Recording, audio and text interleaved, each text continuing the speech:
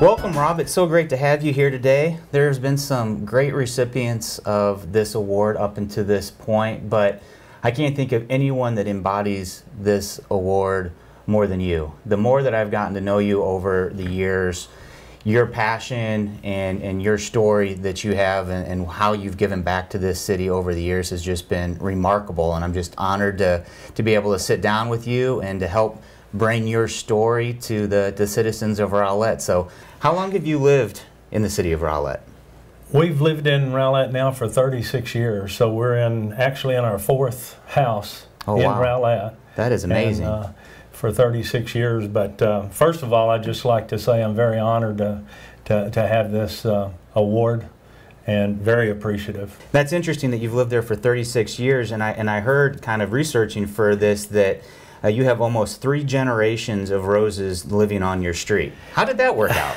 We do. We, we do have three generations uh, on our street, and we actually have a fourth generation in Rowlett. wow. So we, we really have four generations in Rowlett, and we'll soon have five generations Oh, because our next door neighbor is our granddaughter and grandson in law, and they're expecting, so they're going to have a baby Christmas Day.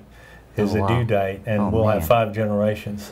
So you're currently the chairman of the senior advisory board. Can you tell me a little bit about the board, how long you've been serving, and, and maybe some of your latest accomplishments that you guys have been able to do? I'm just finishing my first term, so two years. Okay. Uh, I'm the chair of the board, and we hold six seminars a year for seniors at the community center. And uh, in addition to that, we have a senior health fair that we hold each April, Okay.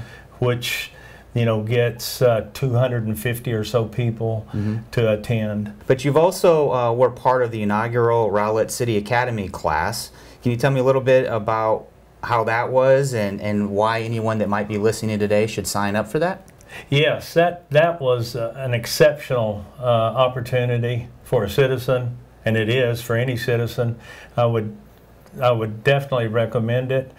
Uh, it allows you to see, um, I like to say, the back office operations of the city. You really get to go into each of the departments.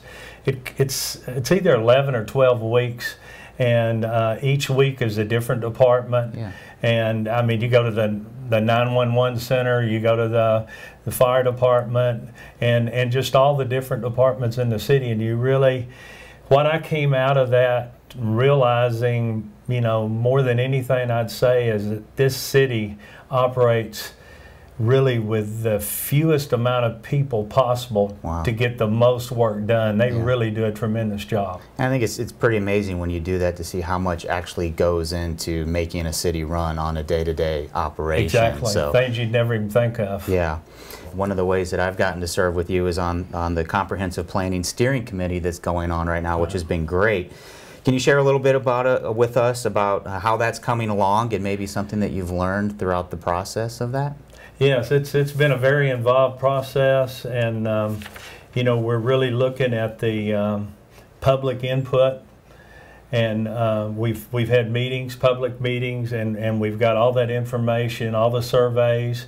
So we're using that information to come up with uh, future land use Right. zoning recommendations that we will make. And uh, I think we're supposed to be finished up in October. So now on to something that's near and dear to my heart. And one thing that I learned about you is you are a Texas Smart Smart Yard Award winner. Can you tell us what that is and, and how you won that? Yes, we were honored to be the, I think, the first award winner uh, in Rowlett. And um, it's, I guess what we do, well, we do, you know, a lot of things to try to conserve uh, energy, uh, resources. One of the things that we do is we have seven rain barrels where Oh, we wow. collect uh, rainwater off our roof. And uh, for instance, like this summer, uh, we've been able to do all of our watering for our plants and our flowers from those rain barrels. So Oh, we've used no city water for that. So Oh, wow. that helps with the water bill, and it and it, you know, it helps Yeah. our environment if we use less. So another thing that you do, I know that I understand that you have a really good local Facebook page. Do you mind sharing with the audience what that is and, and how they can find you? Absolutely. Uh, we have a um, Facebook page.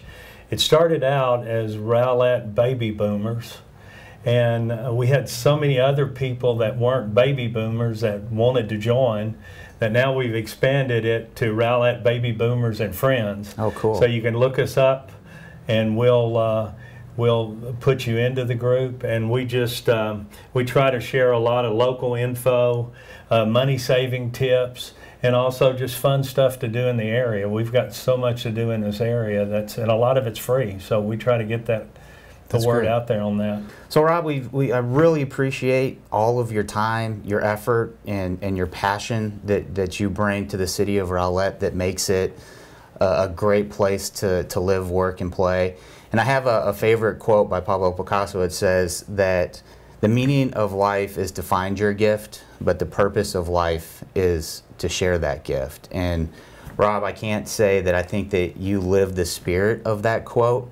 And I truly think that you're deserving of this award, and I congratulate you again on being this month's winner of the Spirit of Rowlett. Thank you very much. well thank you so it. much i'm so happy to have that award